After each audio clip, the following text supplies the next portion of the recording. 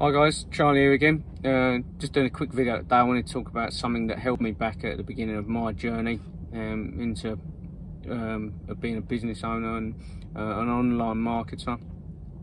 Um, it was confidence. Confidence was uh, the main setback for me, and from a lot of people that I connect with and talk to on, on social media now, um, it's something that held them back or is still holding them back in doing things like publishing online um, doing YouTube videos, starting own YouTube channel, starting own blogs, uh, posting content. All of it seems to come down to this one factor is, is the confidence um, and believing in yourself that you can do it. Um, a lot of it I find is worrying about what people think when you do it. Um, you know, saying, uh, let's talk about videos for instance, you know, posting a video um, like this. Um, you know you you got to start somewhere. And that's the thing. And what one of the quotes that I've heard very recently um, is um, confidence comes with competence. So you, to build up the confidence um, you have to start. You have to make a start. You have to you have to be bad to start with. Unfortunately that everyone starts off somewhere um, and we've not all got a natural talent to do something. So we have to build up that competence. You know learn the skills that we need to do it whether it's making a video, whether it's doing posts on on social media, you know, whether it's doing Facebook lives, um, whether it's just starting that business or or taking that leap into that new opportunity you found in affiliate marketing or um, network marketing or e-commerce or drop shipping, whatever it is you want to you want to do, whatever it is you're looking at doing. But you you've got to remember that you can't expect to have the confidence straight away. You need to build up skills first and that takes time you know and to, to build up those skills um, obviously you have to do it first. You have to learn as you go. Um, and it's something that, that held me back for a long time. Um, not having the confidence not believing in myself not believing I could do it.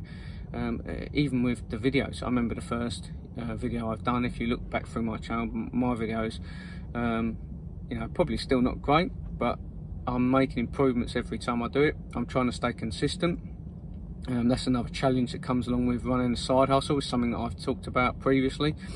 But if you look back at my first video, I remember I was sweating like a pig. Like, you know, I was so nervous. I was sat there like 11, half 11 at night, the family all in bed. It was just me with a laptop.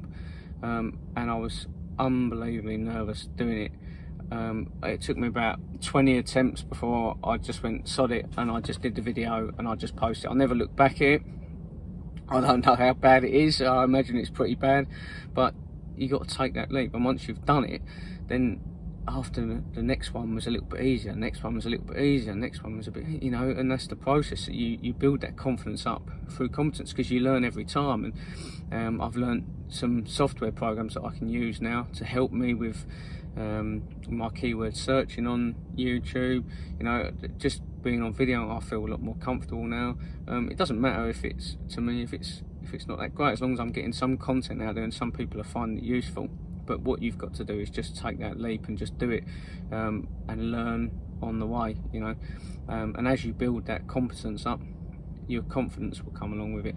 Um, I hope this really helps you out because uh, it was something that's held me back a lot and it will still continue to hold me back I would imagine um, as I try different different things like my Facebook lives. You know that's something that um, I'm a bit nervous about doing. Not because I'm worried about being on camera so much but I'm worried about the people watching me. You know when it's live it's a little bit different. I've done Facebook lives in groups before um, and that's a little bit different. Um, but what the other thing you have to realise as well, doing something like that, uh, to start with, not many people are seeing what you're doing anyway. Not many people are watching you. Um, it takes a long time um, before people actually start to watch and, and, see your stuff online. And by that time, um, you would have built up um, a lot better uh, skills, you know, and you'd be a lot better at, the, at what you're doing. So um, it's lasting long enough for people to, to find you. That's what it's all about.